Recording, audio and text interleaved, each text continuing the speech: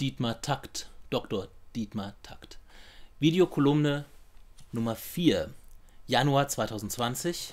Jeji Pastorkinja oder Jenufa von Leos Janacek. Der Beginn der fünften Szene aus dem zweiten Akt, wo die Küsterin beschließt, das gerade neugeborene Kind ihrer Tochter Jenufa zu töten, da dieses Kind, unehelich geboren, einer Verheiratung von Jenufa im Weg zu stehen scheint. In dieser Szene benutzt Janacek eine Skala, ich habe sie Ihnen mal aufgeschrieben, die eigentlich wie Bemol beginnt und dann anders weitergeht. Das F ist zum E tief alteriert. Das G und das A sind nicht als Ges und As, sondern als G und A geschrieben. Und dann klingt die Skala so.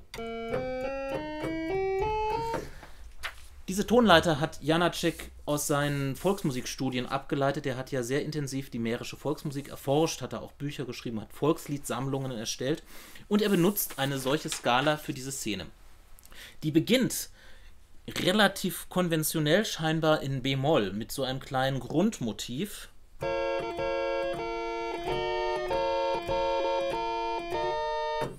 Darüber singt dann die Küsterin.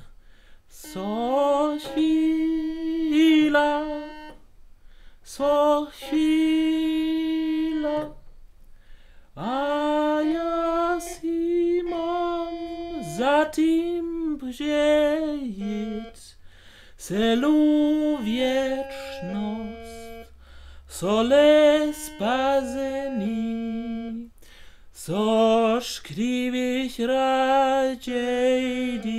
raczej dit niekam servisla.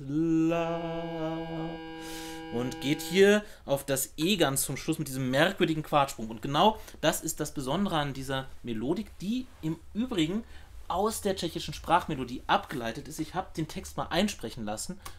Co chvíla, co chvíla, a já si mám zatím přejít celou věčnost, celé spasení, což kdybych raději dítě někam zavezla?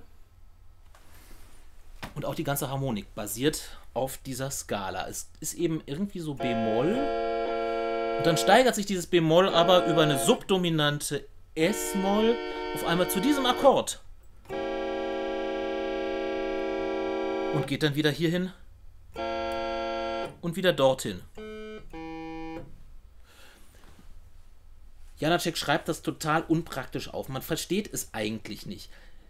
Es ist ja eigentlich klar, nur dann fängt er auf einmal an, da in diesem B-Moll-Umfeld, der könnte ja mit Auflösungszeichen arbeiten, ähm, auf einmal irgendwelche Kreuze zu schreiben. Ein Cis und ein Dis statt eines S oder eines, ähm, eines, einer, eines Des.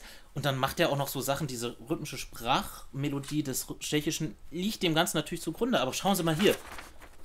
Zwölf Achtel über vier Viertel. Warum macht er da einfach nicht Triolen? Also das verstehe ich nicht.